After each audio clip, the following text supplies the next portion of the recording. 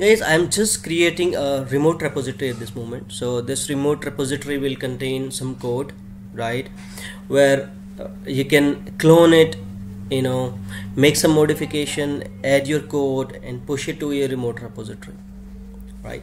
So we have uh, a number of way to create repository right? So I'll be tell uh, I'll, I'll tell you the first way that we have already done right? But I'll be just recording this for the audio purpose right? You just need to click on new right? And give the repository name. So I'll be give I'll give this DevOps 8 right? So this is my repository name. The next is who is the owner of this repository? So you are the only you know owner of this repository. You can give description if you want so you can keep it as a public or you can keep it as a private. So if you do it public then that means uh, anybody can see it but you can choose who can commit and work on your repository.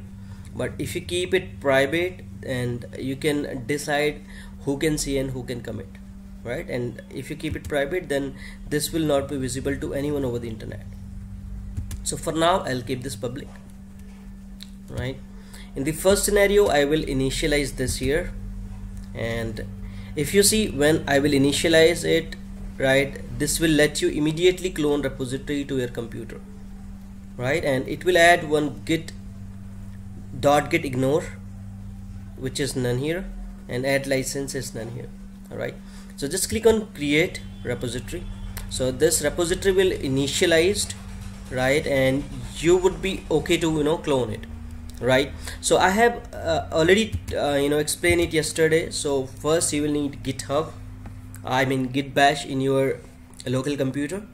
If you are working in the linux you just need to do yum install git and you will get the git command there right? So this is my local windows. So you just can click on uh, right click here click on git bash here right?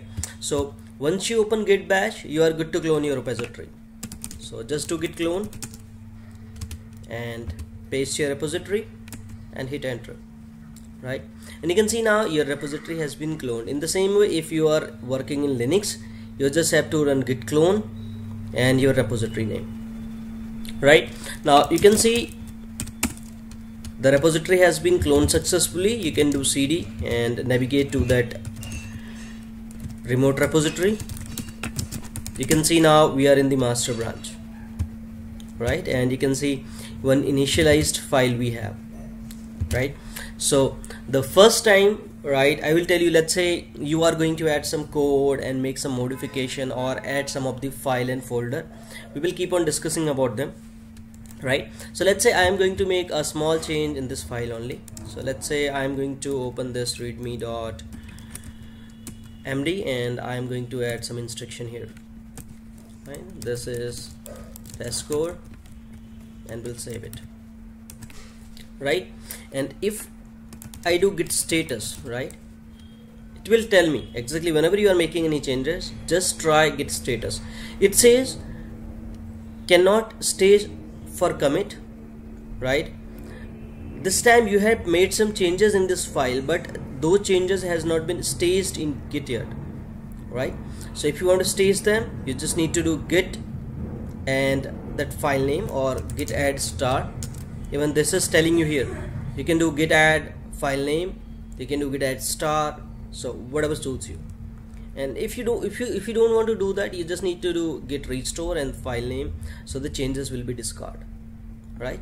But here I will do that.